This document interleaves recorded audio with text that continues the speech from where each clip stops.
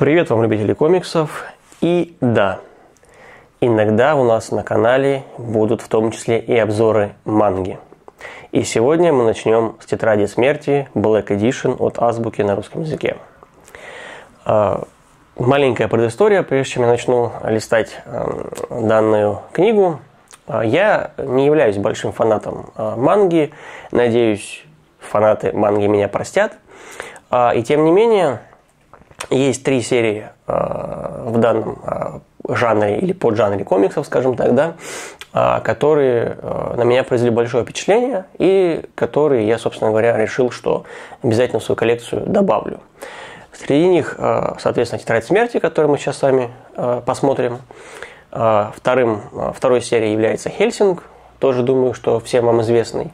И завершает это, вот, это трио тех книг, которые мне представляют интерес для меня, это Берсерк, соответственно. И Тетрадь смерти с Хельсингом у меня в коллекции уже есть. Берсерка я еще не приобрел. Я целюсь в делюкс-версию на английском языке.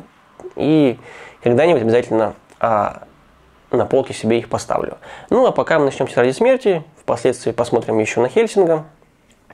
А, тоже, кстати говоря, в делюксе а, на английском языке.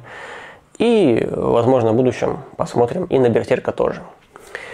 Что ж, а теперь давайте приступим непосредственно к обзору «Тетради смерти». Это издание Азбуки, Black Edition, довольно классно оформленное. А если я ничего не путаю, изначально оно выходило в мягком переплете на английском языке и в оригинале, но вот благодаря Азбуке оно у нас появилось и в харде, что довольно здорово. Всего их 6 томов, и вот так они выглядят. Это лицевая сторона книги, это корешок, соответственно.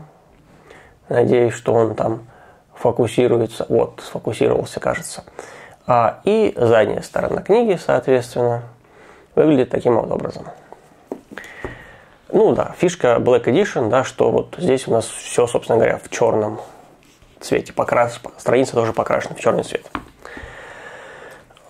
Думаю, что про тетрадь смерти рассказывать много не нужно. Как бы, да, я думаю, что фанаты манги и, в принципе, э, люди, знакомые с аниме по данному комиксу, должны прекрасно э, знать сюжет.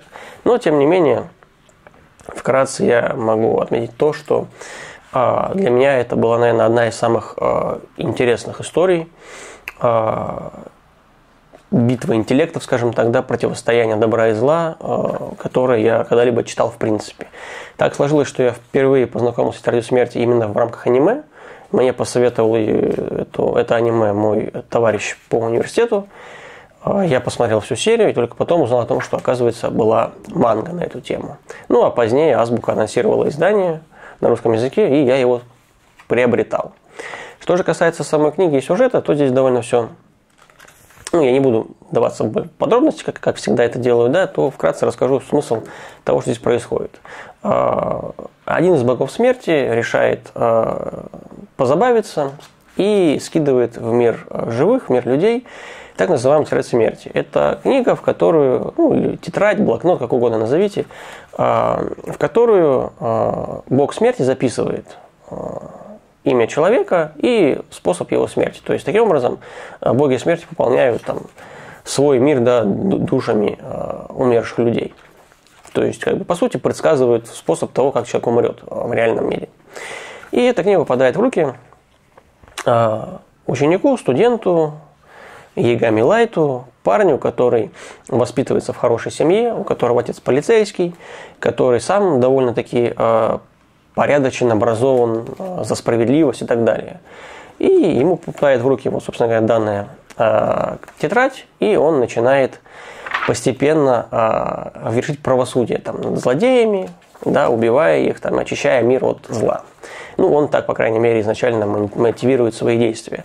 Ну, впоследствии, постепенно, чувствуя свою власть, безнаказанность, он начинает э, превращаться в чудовище, откровенно говоря, которое которая непосредственно э, начинает э, вершить судьбы людей. Он, по сути, начинает мнить себя Богом и, э, ну, не знаю, э, вершителем судеб, скажем так. То есть человеком, который э, уничтожает всех ему неугодных и превращается в жуткого э, убийцу, по большому счету, в маньяка там, вселенского масштаба. Э, на его поимку отправляют огромное количество спецагентов, полицейских. Никто не может его поймать, никто его не может вычислить, потому что парень действительно умен, хитер. И появляется на горизонте его оппонент, так называемый Л.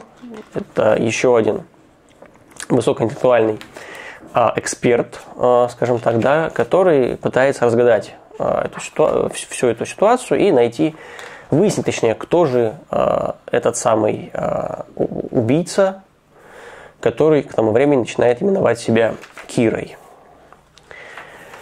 И, по сути, большая часть данного, данной манги посвящена именно этому противостоянию. Битве интеллектов, битве умов, я уже говорил, кто кого перехитрит, кто сделает первую ошибку. Вот. И это противостояние длится довольно долго. А, я не буду рассказывать про детали этого противостояния, но тем не менее за этим крайне интересно наблюдать, крайне интересно за этим следить. Да, здесь, к слову говоря, тоже очень прикольная закладка черного цвета под цвет а, стиля книги, что довольно приятным, является бонусом. И это противостояние длится очень долго а, и постоянно держит напряжение как э, сериал, который, я считаю, снят просто потрясающе. Кстати говоря, L, тот самый, про которого я говорил. Так и непосредственно сама книга, сама манга. Я считаю, что она крайне интересная, и вот э, на меня она произвела большое впечатление, заставив меня в итоге полюбить некоторое количество манги, в частности, вот э, «Тетрадь смерти», «Хельсинга» и «Берсерка», на которых я и сделал акцент в своей коллекции. Думаю, что э, и сейчас ее можно найти в продаже. Я помню, что был несколько лет, по-моему, назад по этому поводу скандал.